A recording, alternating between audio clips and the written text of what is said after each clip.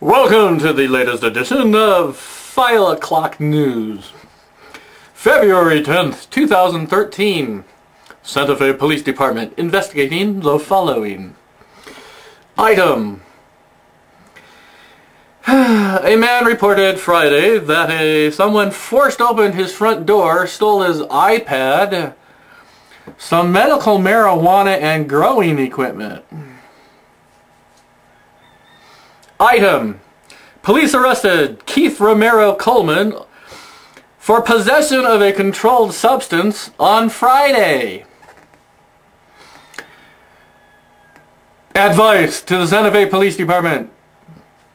Two and two equals four. Just saying. Item. Someone broke through a bedroom window in the residence of so-and-so and took clothing and other items from the closet and cabinet and took nothing. Not even shoes. Clothing and other items, somebody just broke into the house, rummaged through the closet cabinets, couldn't find anything nice to wear, and then just left. February 9, 2013.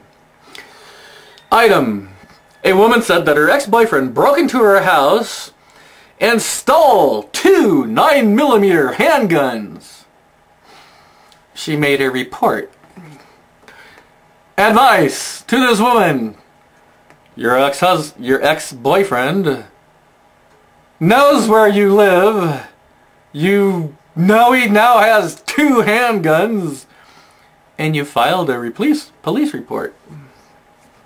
Just saying, this can't end well. I don't want to read a follow-up uh, police report on that one, by golly. February 8, 2013. Item.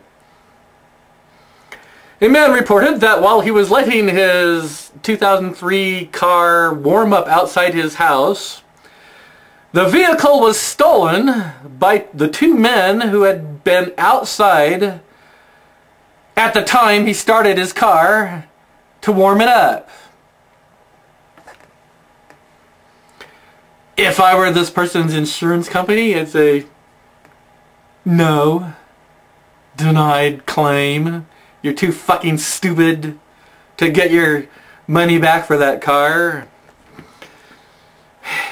Advice from Desertphile. If there's strangers hanging around waiting for you to, to warm up your car, then let the engine run with the keys in it while you go back inside and have yourself a nice cup of coffee and a donut. You're too stupid to live! February 5th, 2013. Item. A woman told police that her ex-boyfriend bit her on the big toe during a dispute. Her big toe during a dispute. I say her big toe. Meanwhile, Irish County votes to let some drunk drivers drive drunker. And I just love that word, drunker. Quoting the article, Councillor and County Kerry pub owner Danny Healy-Rae introduced the bill, arguing that citizens driving while intoxicated in rural areas have never killed anybody. Yet! This can't possibly go wrong either. Grandmother's remains lay in Clearwater storage unit. Fourth 17 years she was in there. Quote, Police said the dead woman's granddaughter told police officers that she didn't know about the remains until last year when her mother revealed on her mother's deathbed that her grandmother was stored in the Clearwater storage unit, specifically unit B8. So I'm thinking that her mother didn't want to end up in the storage unit, or maybe she did, with her mother for another 17 years. Finally, item Bend man shot by wife's gun improving. Does that mean the wife's gun is improving? Does that mean that the wife's aim is improving? Presumably the Bend, Oregon man who was shot is improving. I want to quote one of the witnesses to this shooting where a woman had a Derringer 22 caliber in her pocket in McDonald's in Bend, Oregon, and she bent over to pick something up.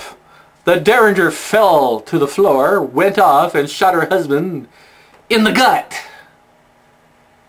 Could happen to anybody. Christina Burley stated, quote, Thank God it wasn't me, unquote.